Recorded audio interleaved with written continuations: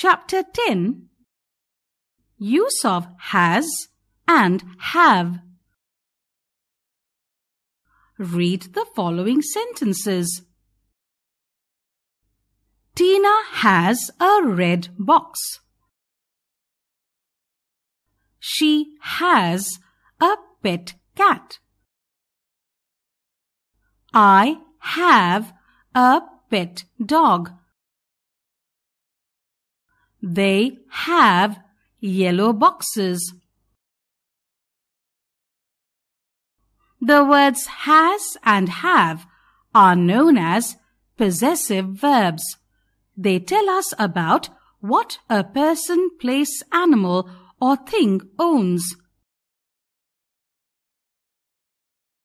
Use of has.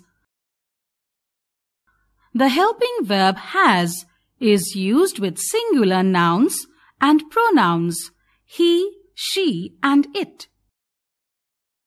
Examples The dog has a white tail. He has a new toy. She has a red school dress. Mr. Gupta has a big house.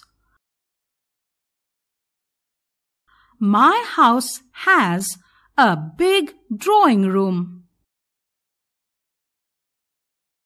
Use of have.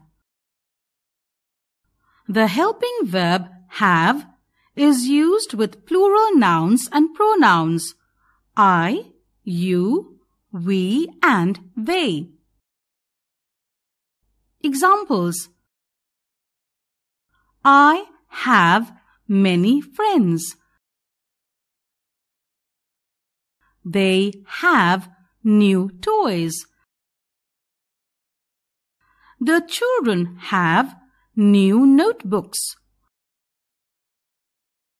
We have one bicycle.